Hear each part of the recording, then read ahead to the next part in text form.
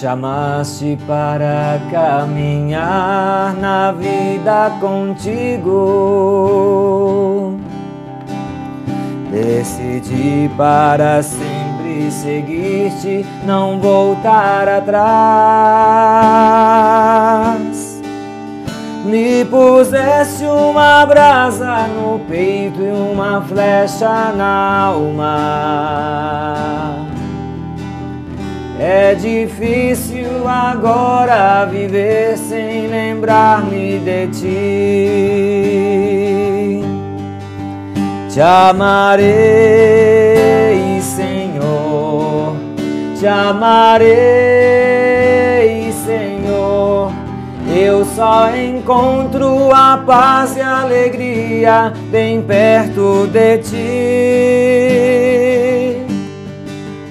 Te amarei, Senhor, te amarei, Senhor. Eu só encontro a paz e a alegria bem perto de ti. Vocação, veja bem, esse assunto é muito importante para as nossas vidas. Hoje eu entro na sua casa mais uma vez, peço licença rogando as bênçãos de Deus nosso Senhor sobre você e sobre toda a sua família. Este assunto que nós vamos tratar hoje é de suma importância para a existência humana. É claro que, como você pode perceber, se você está diante de um sacerdote, quando a gente fala em vocação, a gente sempre se lembra muito que as pessoas às vezes atribuem né, vocação à pessoa de um padre, ou a pessoa de uma irmã consagrada, mas a vocação ela é muito mais ampla que a experiência de um sacerdote. E por isso nós vamos conversar um pouco hoje. Nós estamos num tempo muito favorável para se conversar em vocação, num tempo em que o mundo carece de pessoas que se disponibilizem diante da vida com vontade de fazer de fato a vida valer a pena.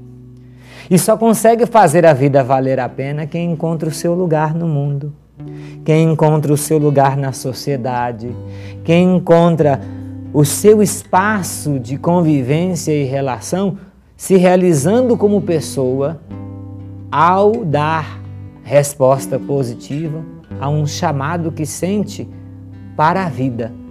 Uns sentem o chamado para o sacerdócio, outros sentem o chamado para o matrimônio.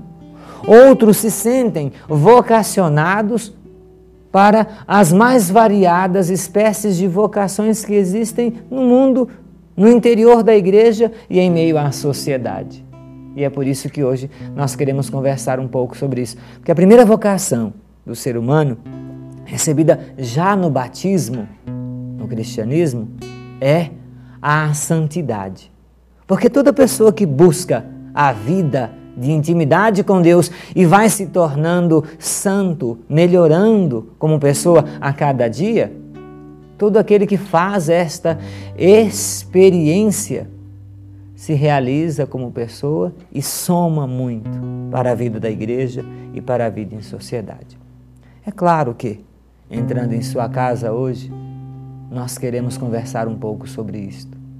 No desejo de que você aproveite deste nosso programa Momentos de Fé para fazer a experiência de refletir um pouco sobre sua vida, sobre eh, os chamados que você tem sentido pulsar em sua alma e, quem sabe, através do nosso programa hoje, você não consiga dar uma resposta à vida, a Deus, nosso Senhor, e uma resposta que vai te realizar como pessoa para um chamado específico na vida e, quiçá, matrimônio, sacerdócio, vida consagrada ou tantas outras experiências. Hoje, para conversar um pouco sobre isso, eu trouxe dois jovens aqui, jovens que têm feito uma experiência de fé.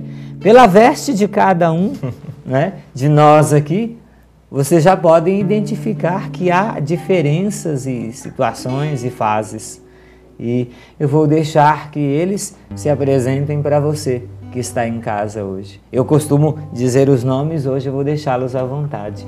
Começando aqui da ponta para cá, sinta-se à vontade, meu jovem. Sou Cássio, estou na fase de postulantado no priorado Senhora Aparecida e São Norberto, aqui em Montes Claros, da Ordem Premonstratense. Ah, sim. E você, meu caro? Então, eu, eu sou irmão Antônio, né? Sou também da Ordem Premonstratense. Sou oriundo do Priorado Nossa Senhora, é, do Priorado São Norberto, em Salvador, na Bahia.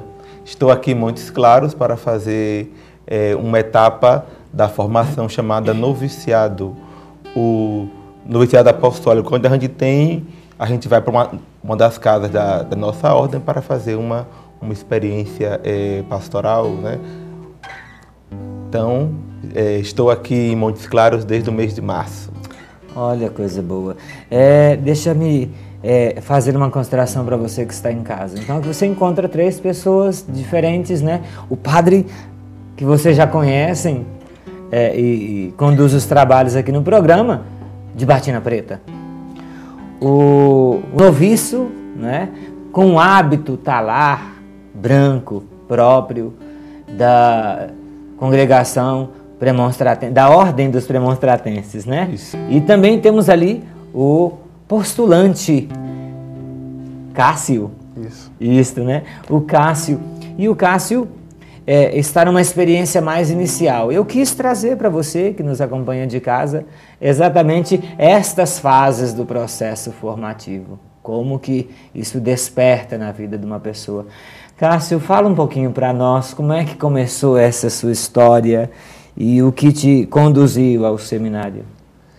Minha vocação o que eles chamam de vocação tardia, né?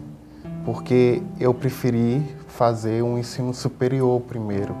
Eu fazia os encontros vocacionais junto com a minha faculdade, enquanto eu estava cursando o curso de pedagogia. Mas o que me chamou mesmo ao vida vocacional e o que me levou à ordem foi lendo a história da vida dos santos, a, o que nós chamamos de agiologia, a biografia da vida dos santos. Lendo a história da vida dos santos, eu me identificava, eu sentia aquele fervor que eles têm e eu queria sentir também aquilo que estava chamando eles. Interessante é, você colocar. Realmente, como a, a, biografia dos santos nos ajuda muito, nos estimula muito, né? Na busca de uma relação de intimidade maior com Deus, nosso Senhor, né? Você vai ficar contente agora, viu, meu jovem? E quem está em casa há de convir comigo. Você nem precisava dizer que é vocação tardia, porque quem te vê não fala, né? Super jovem aí, só não sabia eu que estavas aí adiantando o processo de estudos acadêmicos ainda antes do seminário, né? Coisa boa. É... E há quanto tempo você está no, nos premonstratenses? Eu entrei no dia 2 de fevereiro desse ano. Ah, sim, desse ano de 2015 isso, já. Isso. Então você fez toda uma caminhada vocacional, estava junto da sua família, não é isso? Participava da vida em comunidade, junto com a igreja local? Sim, o ano de 2014 foi todo dedicado aos encontros vocacionais. Uhum. Mas participando na sua paróquia de origem? Sim. Também. E você é de Montes Claros? Não, sou da Bahia. Da Bahia também, isso. né? Hum, hum, gente, meu abraço ao povo baiano, né? E quando a gente faz hum, hum, que é bem próprio do povo da Bahia, né? Então nós temos dois baianos aqui hoje, não é isso?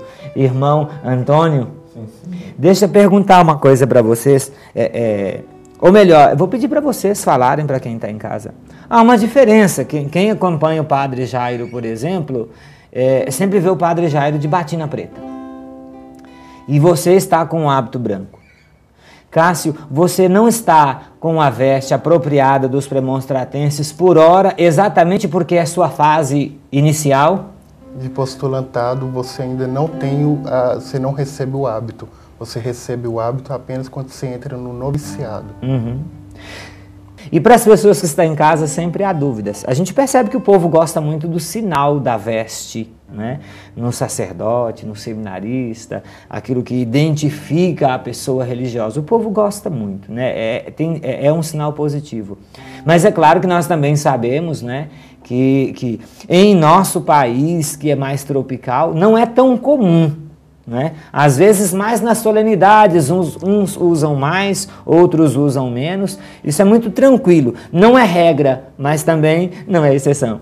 Né? É uma realidade muito tranquila para a igreja no Brasil, isto. Mas eu gostaria então de, de, compreender. Dentro das normas dos premonstratenses, é, quando está na fase inicial, ainda não usa. Né? Sim, sim. Só vai passar a usar a partir do, do noviciado. Do noviciado. É, eu ingressei no noviciado no final de, 2003, de 2013, né? 2013.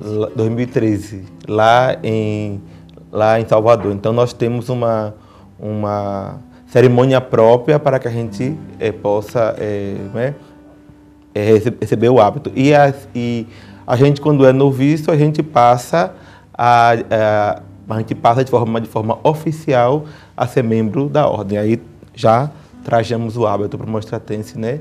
É o hábito que São Norberto, nosso fundador, usava. Sabe, senhores, é, é, convidá-los aqui hoje para a gente é, é, foi uma experiência muito é, é, refletida. Porque o meu intuito com vocês mesmo aqui hoje, é a gente poder falar um pouco sobre aquilo que brota no coração da gente, sabe? Em relação à nossa fé, em relação à nossa busca de intimidade com Deus, nosso Senhor, e esse desejo que vai brotando no nosso coração de servir a Deus. Mas é interessante a gente, é, num determinado momento da vida da gente, sente que a gente quer servir plenamente a Deus e a gente percebe que servir a Deus é servir a igreja é servir o outro, é anunciar o Evangelho. É, como isso vai ficando claro com o passar dos anos. Não é à toa que nosso Senhor Jesus Cristo diz, né? Eu estou presente neles. Né? Quer dizer, o próprio Cristo vai nos dizer que está presente no outro. Então, se nós queremos servi-lo, que nós possamos ir ao encontro do outro. E no mundo em que nós vivemos, é, nós percebemos, nós percebemos uma, uma realidade tão carente de Deus, né? Tão carente de palavras de vida, tão carente do, de, de, de, valores, tão carente de, de do, do, próprio Evangelho, né? que é a grande novidade, que não é nova em termos cronológicos, mas é novidade porque muita gente desconhece esses ensinamentos que conduzem à plenitude, à realização, à felicidade, que conduzem ao céu, à intimidade com Deus, nosso Criador. Né? Então, assim, trazê-los hoje é para falar um pouco disso porque quantos e quantos jovens, que talvez possam até estar nos assistindo agora, é, têm suas interrogações. Como eu faria para ser padre?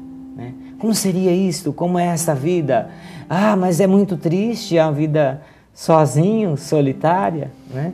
A gente percebe que, na verdade, quem encontra sua vocação se realiza estando ao lado de alguém, de alguém ou não. Até recentemente tenho comentado muito um pensamento que a gente estabelece. É, a gente conhece pessoas casadas, mas profundamente solitárias, porque talvez a sua vocação era outra e não conseguiu dar uma resposta é, para a vida com autenticidade e achou que o caminho era esse. Né? E também encontra sacerdotes é, profundamente infelizes, porque é, empolgados num primeiro momento deram uma resposta para toda a vida, mas não era esta a vocação. Veja que curioso, né? Mas vamos falar uma coisa interessante aqui, os meninos. Vocês são do conhecido seminário premonstratense. Sim, sim. Também hoje priorado ou mosteiro Nossa Senhora Aparecida e São Norberto, porque me recordo que foi elevado a esta categoria recentemente. Ano de 2000. Né? É, não é tão recente.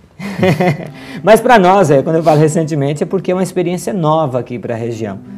E, e, assim, o que, o que eu observo, vocês premonstratenses, nós temos o seminário diocesano, do qual eu faço parte, de onde eu venho, né? Aqui, inclusive, na nossa Arquidiocese de Montes Claros, temos o seminário provincial aqui, que além de acolher os nossos seminaristas, nós acolhemos os seminaristas das outras dioceses vizinhas, inclusive seminários vizinhos, vocês também estudam por lá, tem, não é isso? Tem três rapazes nossos que estudam lá. E nós temos mais outros seminários, né? Tem. Tem o, tem o dos franciscanos. Os franciscanos. Tem o do da Sagrada Família. Sagrada Família. E o dos Arautos do Evangelho também fala. É, os Arautos do Evangelho. Estão ainda começando. Ainda. São várias expressões, né? São várias propostas de, de, de segmento da vocação com carismas diferenciados para as pessoas é, é, trilharem. Congregações femininas é, que aqui Tem as carmelitas, estão. tem a, a, as irmãs da, da, Divina Providência, tem as filhas de Jesus, tem, tem várias, né, de fato, várias é, é, congregações femininas e, e ordens que, que, estão presentes na igreja, no interior da igreja. O que não falta é lugar para você servir a Deus, para você é, acolher o projeto de Deus na sua vida. Né?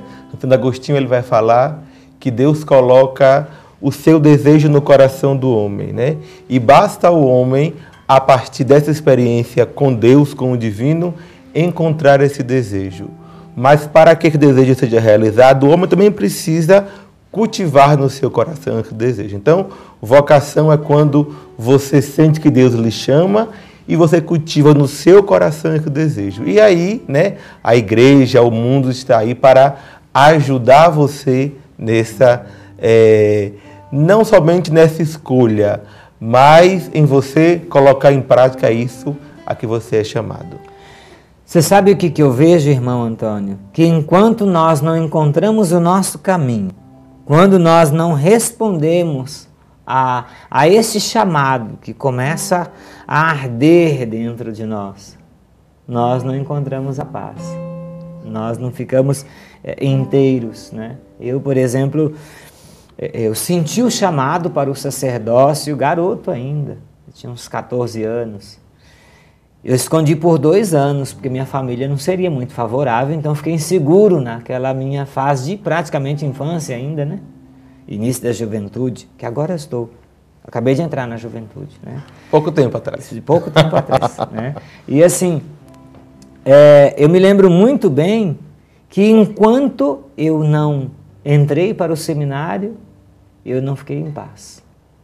E eu sou muito feliz hoje, depois de é, 11 anos de seminário, foi o tempo que eu passei no processo formativo, porque eu fui de congregação e depois vim para a Arquidiocese de Montes Claros. E, e 11 anos somados a mais 10 que vou fazer de sacerdócio esse ano.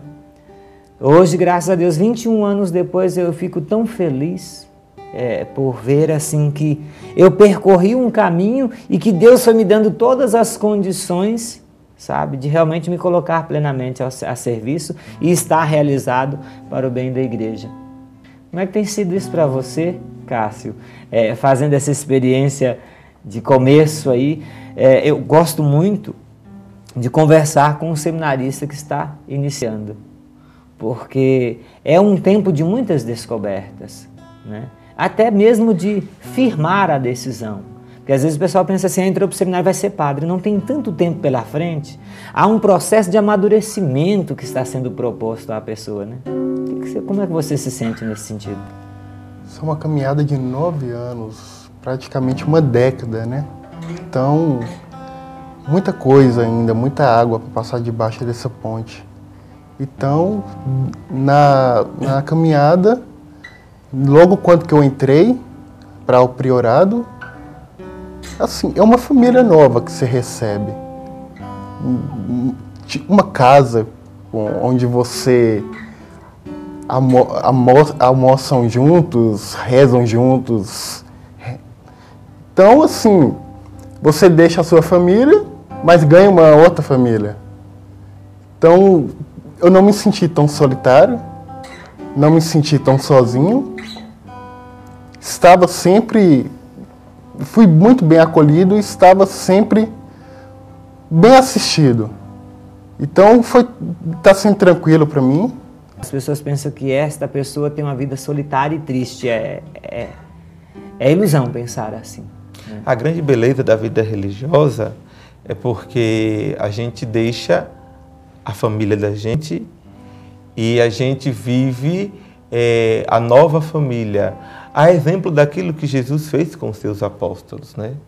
Então, é, quando a gente entra é, no convento, no seminário, no priorado, a gente, a partir daquele momento, vai conviver não com aqueles que a gente escolheu, mas com aqueles que Deus escolheu para a gente.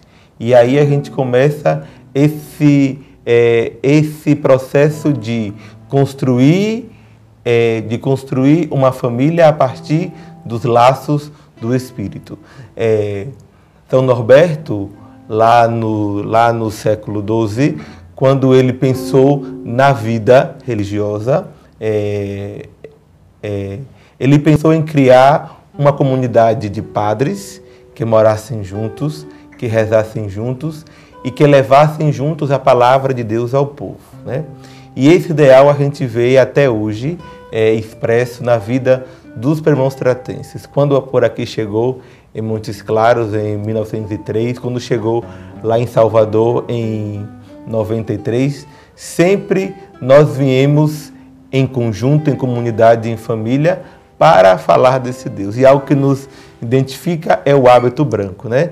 É, é, nós queremos ser aqueles homens que anunciam Cristo ressuscitado.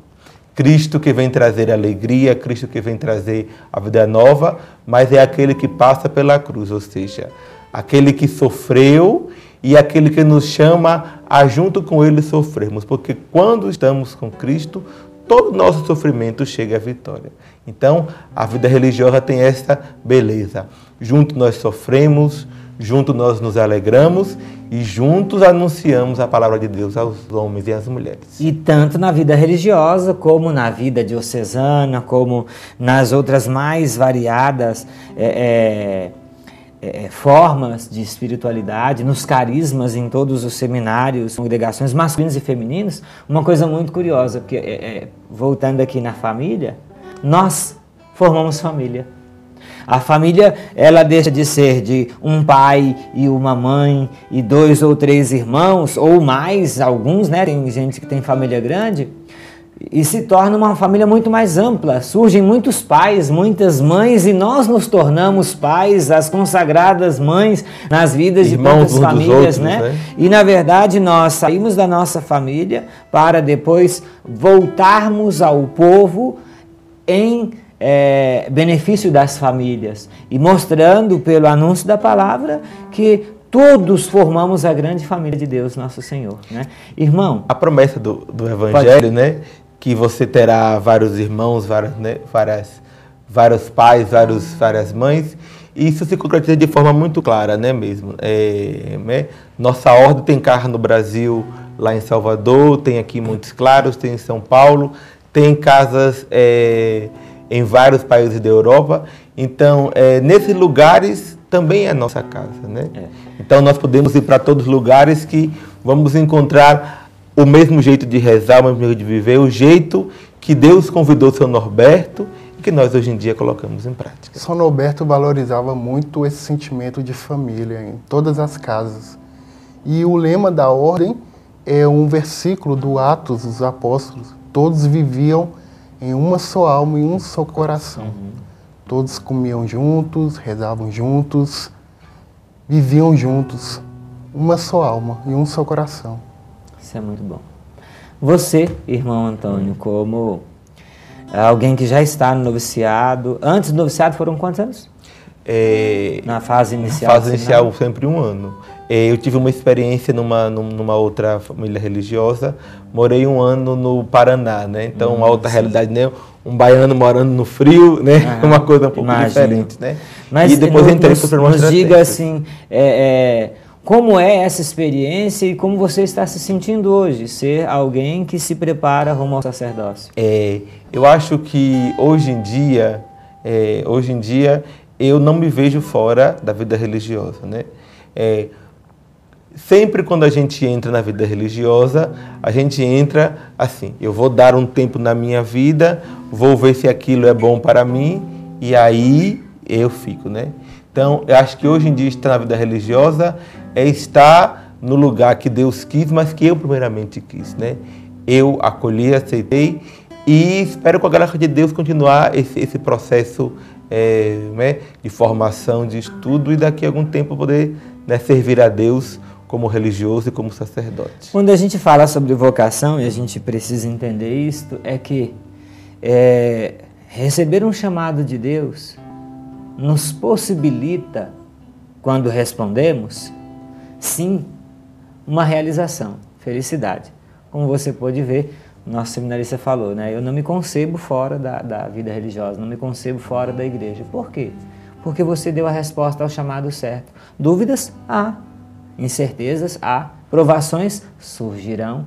Mas assim é a vida.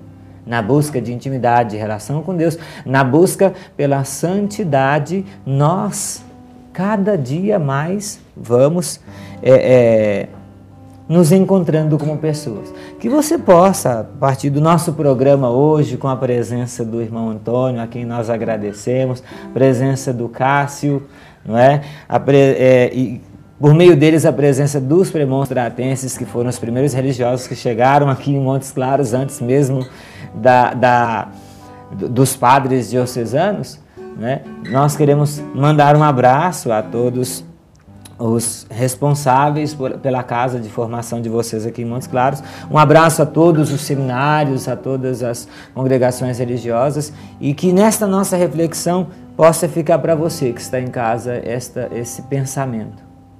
O que Deus tem reservado para mim? Qual é o chamado que Ele me faz? Ao ver esses homens falar de entrega da vida para a igreja, com vistas ao sacerdócio, há tantas famílias que serão assistidas pelo ministério deles. Que você possa em casa pensar: Senhor, o que tu queres de mim? Chama-me, leva-me aonde as pessoas precisam do teu amor. E Deus Nosso Senhor te abençoe mais uma vez. Muito obrigado. A gente agradece também ao Padre, agradece a todos e também convida para poder, é, quem quiser nos conhecer, nós estamos lá na rua Lírio Brande, 619 no bairro Melo.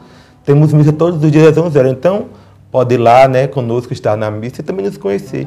E quem sabe, né, poder também, né, tê-los lá conosco no nosso seminário, né? Então, Deus abençoe a todos e que Deus desperte a vocação de cada um a partir do encontro com Ele, a partir da vida da igreja de cada um. Obrigado.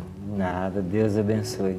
Deus abençoe você que está em casa, em nome do Pai, do Filho e do Espírito Santo. Amém. Pai bondoso, derramai vossa graça sobre esta água e que ela abençoada possa ser fonte de força e graça e bênção para a vida de todos aqueles que a consumirem. Derrame vossa bênção, Senhor, sobre todas as pessoas que nos acompanham neste programa e que, animadas pelas experiências aqui relatadas, ao menos um pouco da experiência destes consagrados, possam encontrar forças para dar sua resposta a vós, ó Pai de bondade. Seja para a vida no sacerdócio, a vida consagrada, seja para o matrimônio, seja para as outras tantas vocações que amparam a vida, constituem o vosso reinado e expressam o vosso amor para com todos os vossos. O Senhor esteja convosco. Ele está no meio de nós. Por intercessão de todos os santos e santas, abençoe-vos o Deus Todo-Poderoso, Pai, Filho e Espírito Santo. Amém. Até o nosso próximo Momentos de Fé, se Deus quiser. Força! Diga sim ao chamado de Deus. Leva-me aonde os homens necessitem tua palavra, necessitem de força de viver onde falte a esperança, onde tudo seja triste, simplesmente